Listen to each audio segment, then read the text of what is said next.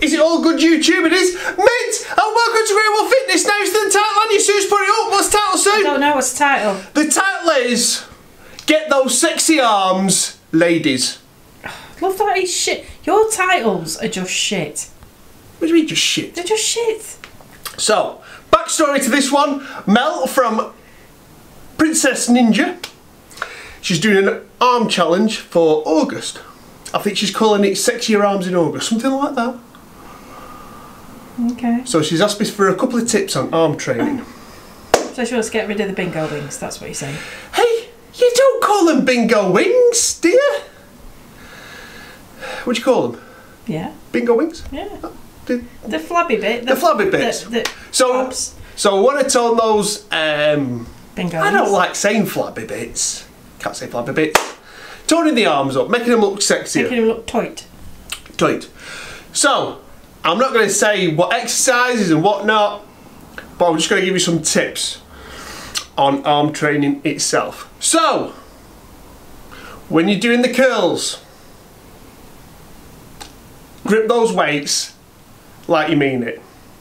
So, you know when your husband really annoys you, you want to strangle him, get that tension in your arms. So, instead of just doing a, a curl, which a lot of people do, just they just curl it, An half-arse curl. half-arse curl. Grip them like you mean it. And as you're raising the, the dumbbells or barbell, Squeeze. squeeze as hard as you can. Squeeze as hard as you can.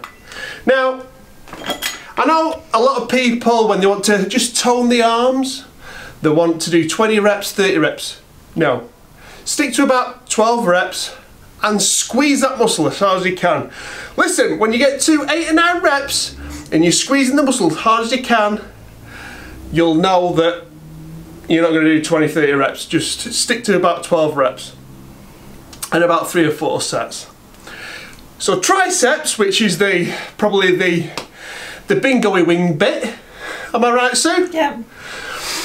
do double the amount of exercises for the triceps as the biceps because the triceps are twice the size as the biceps. So for every one exercise you do for the biceps, do two for the triceps.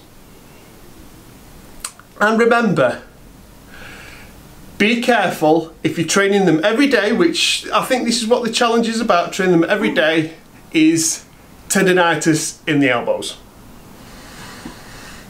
So Not pleasant. So it's not pleasant. So so just be careful on how many times you're going to train them. I would I would start off the first week every other day and see how your elbows fare. Because when you get into those twilight years, Right. I like to be honest on this channel.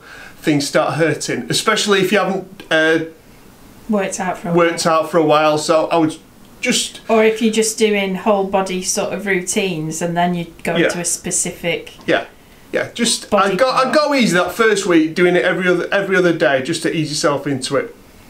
So I hope these Or tips. maybe practice Yes. this last week of July. Yes. Hopefully these tips help a little bit. And remember, ladies, get mean when you're training. Doing half-arse curls like that. Remember, squeeze those, squeeze those weights as if you're going to strangle your husband when he's really upset you, and squeeze those weights. So on that note, don't forget to like, subscribe, share. What else, babe? Leave a comment. Leave a comment and we'll catch you next time.